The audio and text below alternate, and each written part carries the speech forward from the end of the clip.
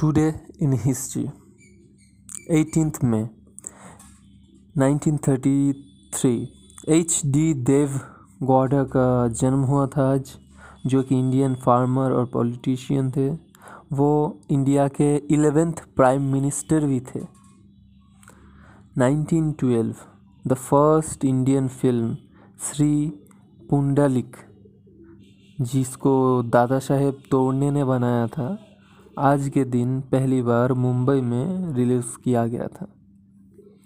1872 Bertrand Russell, एक British mathematician, mathematician, history and philosopher थे।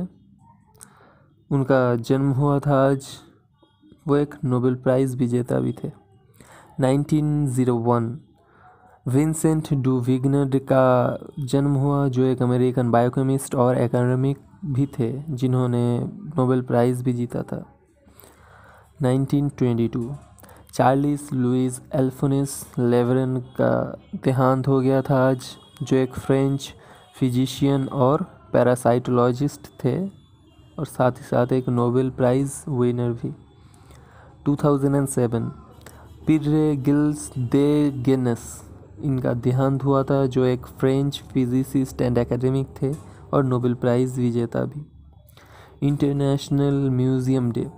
इस दिन का उद्देश्य है विश्व स्तर पर समाज के विकास के संग्रहालयों की भूमिका के बारे में जागरूकता पैदा करना।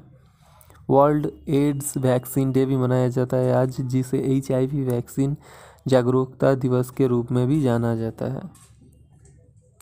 तो बस सीखते जाइए और सिखाते जाइए।